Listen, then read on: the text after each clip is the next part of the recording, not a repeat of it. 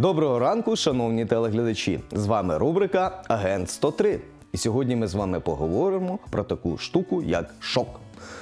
Часто ми згадуємо це поняття, але маємо різне бачення, що ж таке шок. Для когось шок це ранкова газета, ранкові новини, для когось шок це ціни на курс валют. Але в медицині у нас трошечки інше розуміння даного стану. Під цим терміном розуміють різке зменшення об'єму циркулюючої крові. Що ж це може означати? Це коли при певних умовах у нас зменшується об'єм рідини в організмі загалом. Це можуть бути масивні кровотечі, це можуть бути е, опіки другого, третього, четвертого ступеню. Це можуть бути, якщо людина тривалий час хворіє і через підвищену температуру виникає активне потовиділення. Якщо людина отруїлася і має досить е, сильну рвоту або ж розлади шлунково-кишкового тракту, людина втрачає велику кількість рідини, зменшується.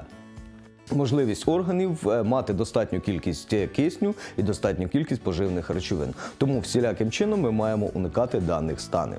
Е, Шоковий стан може розвиватися, коли у людини починається алергічна реакція або ж на фоні сильного емоційного перенавантаження, коли- розширюються судини на нижніх кінцівках, кров частково стікає в нижні кінцівки, і тим самим у нас виникає гостре кисневе голодування саме мозку. Яким чином ми можемо про це здогадатись? У людини з'являється холодний е, під, е, людина блідне, людина.